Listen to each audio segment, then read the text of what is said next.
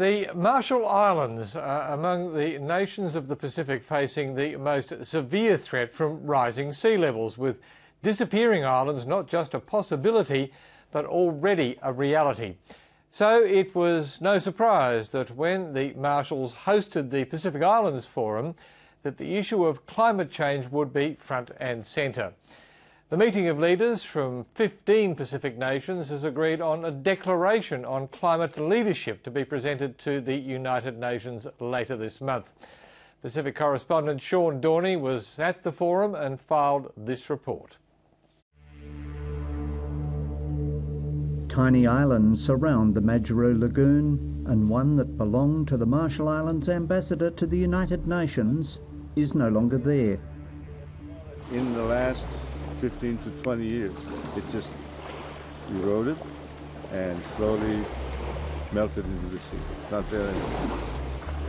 As you can see, there's a few boulders mark the area where it used to be, but it's no longer there. As host to this year's Pacific Islands Forum, the Marshall Islands wanted to show climate change experts the very real effects of climate change, effects that can already be seen in the Marshalls. In this case, an island that's disappeared. Here, climate change has arrived, and we want to make sure that what we need to do in the next five years is done in order that what we fear in 50 years does not. The theme the Marshall Islands chose for this year's Pacific Islands Forum was marshalling the Pacific response to climate change, and a defiant president told the opening ceremony he was prepared to drown rather than become a climate refugee.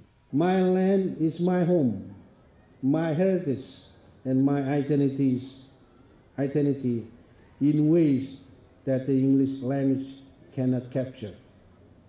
This is my country, and I will always stay here. If water comes, it comes. The day before the forum officially began, the Marshall Islands government hosted a day long session on climate issues that brought together a panel of international experts.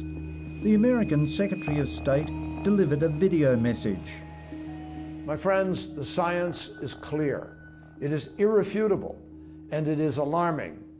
If we continue down our current path, the impacts of climate change will only get worse.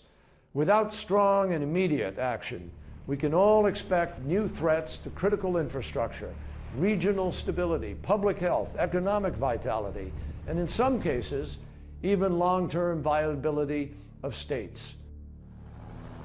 One of those states in danger of disappearing is Tuvalu. In spite of the many chances of financing, we haven't seen any major adaptation projects on the ground to work to building the resilience of communities. The following day, when the Marshall Islands Climate Change Minister, Senator de Brum, took the international climate experts out into the lagoon to see the impacts for themselves, the talk was all about how the leaders had contributed to the discussion and asked the panel powerful questions. Um, it's very clear they're passionate, that they're fighting for the survival of their countries, and that they're impatient with, you know, waiting for people to actually listen to them and to take action or sufficient action that will actually make the difference between life or death for these islands. Uh, I found that very moving. It's when you come to these coral atoll nations like the Marshall Islands or Kiribati or Tuvalu that you realise just how precarious life is. This barrier behind me has been built up simply with coconut fronds. It's very sad, especially if you see it happen. If an atoll island country does disappear, does it remain a nation? I put that question to one of the experts, a professor from the Columbia Law School. We've studied that and we've concluded that under international law, as long as there is some land remaining, even if it's protected by a seawall or has had to be built up, and if you have a uh, some population there living, let's say about 50 people, you can still be considered a state. You need to have a government, but it can be a government in exile. As long as you have some land and some population, you are probably still a state entitled to sovereign rights. Like the Marshalls, Kiribati has an uncertain long-term future. But the president of Kiribati is looking at alternatives.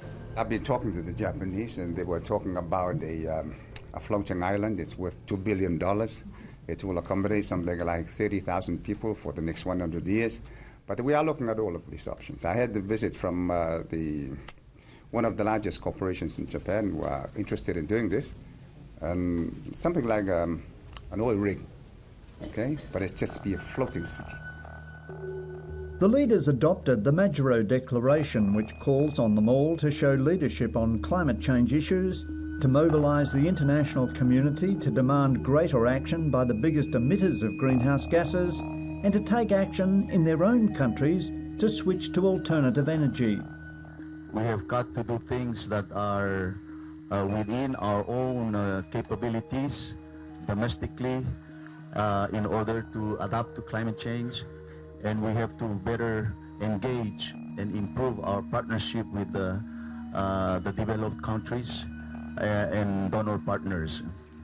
But in the end, uh, what needs to be done is very clear. We must cut down on the emissions that is being produced. Palau's president, Tommy Remengesau, will host next year's forum meeting. This is an issue of uh, our very own survival and our sustainability as, as a people and as uh, small island nations here. When a bridge like this is one of the highest points in the nation, it is no wonder the Marshall Islands wanted to focus on climate change and the threat of rising sea levels.